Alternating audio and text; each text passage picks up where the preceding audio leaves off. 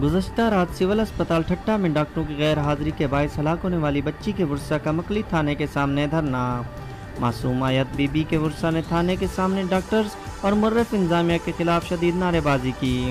वर्षा का कहना था, हमारी बच्ची डॉक्टरों की गैर हाजिरी और मुर्रफ इंजामिया की गफलत के बायस फौत हुई है। उनका ये भी कहना था एफ़ आई आर दर्ज होने के बावजूद पुलिस मुलविस डॉक्टरों को गिरफ़्तार करने को तैयार नहीं। इंसाफ मिलने तक एहतजाज जारी रहेगा।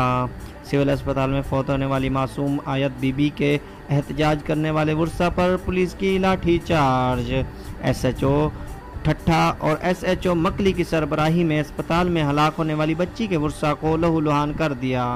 M P A Riyaz Shah Shirazi मुजाहरीन के पास पहुँच गए। कैमरामैन टीम के साथ बिलाल उन्नर कराची 21 न्यूज़।